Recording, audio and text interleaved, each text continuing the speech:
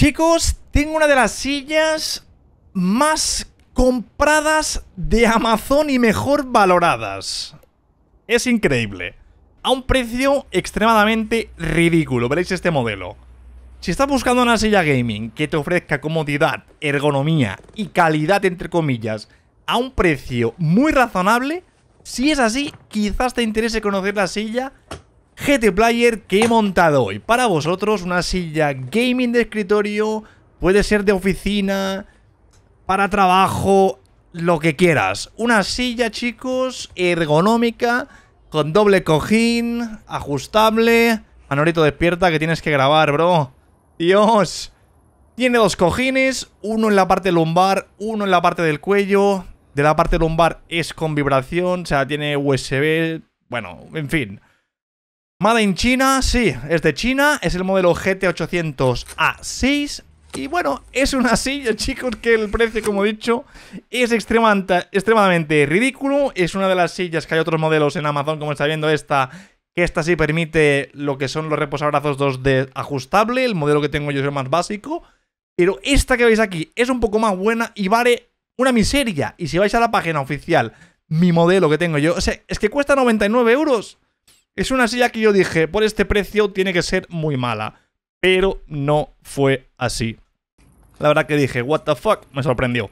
Así que prepárate para, pues, empezar a meter tornillos y depende de lo apañado que seas, tardarás entre media hora y 60 minutos en montar esta silla. Así que bueno, como he dicho, ¿eh? una de las sillas más vendidas y mejor valoradas en Amazon de esta casa.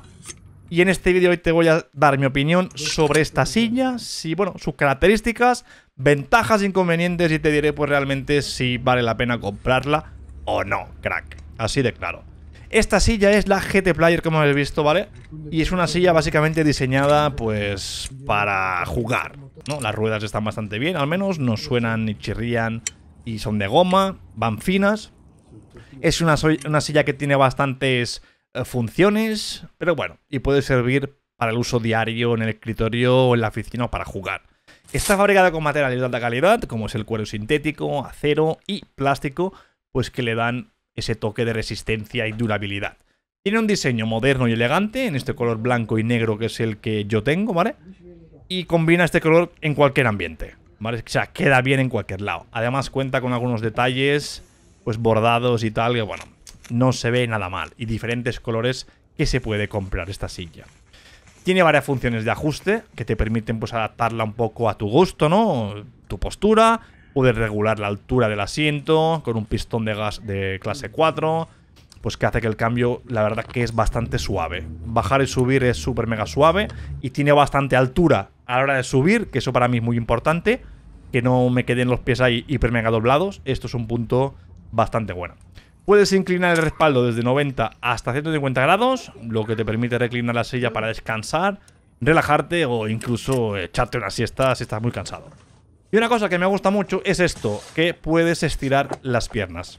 Cosa que, incluido muchas sillas muy caras, no tienen esta función. Una silla de 99 euros tiene, Dios mío, esta función. Lo que no me gusta de esta silla, un punto en contra quizás, es que cuando estás sentado normal, pues los reposabrazos no los puedes ajustar en altura y ángulo. ¿vale? Para que puedas apoyar tus brazos cómodamente. Son, son fijos, pero tengo que decir que son cómodos. Esta silla también tiene función de balanceo, para que te permite pues inclinarte ligeramente hacia adelante, hacia atrás, y lo puedes eh, clavar en el punto que más te guste. Así que bueno, no está mal. Y bueno, como he dicho, tiene dos cojines extraíbles, uno en, en el cuello y otro en la espalda. El cojín del reposacabezas pues es bastante suave, se puede colocar en altura que prefieras. El cojín lumbar pues es firme y ergonómico. Se adapta muy bien a la curvatura de tu columna vertebral. Y tiene un sistema de vibración. Así que bueno, supongo yo que, esto ayuda a mantener una buena postura correcta y a prevenir dolores o molestias porque aquí a veces estamos mucho tiempo sentado. La silla esta tiene una capacidad máxima de carga de 135 kilos, lo que le hace apta para prácticamente todas las personas de este mundo. Y bueno, la verdad que tiene un buen de estabilidad, está bastante bien, no es de esto que tambalea ni nada. Las ruedas son giratorias y silenciosas, me gusta. se desliza pues sin problemas por cualquier superficie. El asiento es amplio y acolchado con una espuma de alta calidad. La verdad que se ve bastante bien. No se deforma con el uso. Bueno, si la usas durante un par de años, seguramente se va a notar. Esta silla, chicos, en verdad, por el precio que tiene, tiene muchas ventajas, pero también hay algunos inconvenientes que debes tener en cuenta antes de comprarla. Entre las ventajas que podemos encontrar o destacar, diría yo que, bueno, su relación calidad-precio es imbatible. GT Player, esta silla tiene un precio muy competitivo y si lo comparamos con otras sillas gaming del mercado, por menos de 200 euros, llegando a los 99 euros, o sea, puedes conseguir una silla cómoda, funcional y que te dure dos o tres años, ya lo tienes más que amortizado. Lo que me gusta, pues barata y el diseño no está nada mal. Tiene un diseño atractivo, moderno, pues que algo de personalidad a tu espacio de trabajo o de juego. Y el color blanco y diferentes colores que hay, pues creo que queda bastante elegante y fácil de combinar, pues prácticamente en cualquier lado. Y otro punto a tener en cuenta es la ergonomía. Pues que está bastante bien, es cómoda, tiene buen confort y bueno, tiene algunas funciones de ajuste y tal. La única pega es que los reposabrazos pues son fijos, pero el resto está bastante bien. En el tema de inconvenientes que podríamos encontrar en esta silla, pues quizás sea su tamaño, ¿no? Las sillas son bastante grandes, eh, pesan unos 20 kilos y puede ser un problema si tienes un espacio reducido o si quieres moverla con frecuencia. Pero bueno, sería un punto pequeñito a tener en cuenta.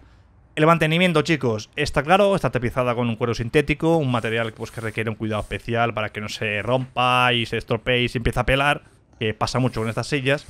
Así que debes limpiarla con regularidad, con un paño húmedo y evitar la exposición directa al sol, obviamente. Y súper importante, debes tener cuidado con los objetos punzantes de tus pantalones, como botones, yo qué sé. O incluso si tienes mascotas en casa, pues pueden dañar el tapizado muy rápido. Y otra pega es el montaje, pero está clarísimo que la tienes que montar tú mismo, no va a venir nadie a montarla.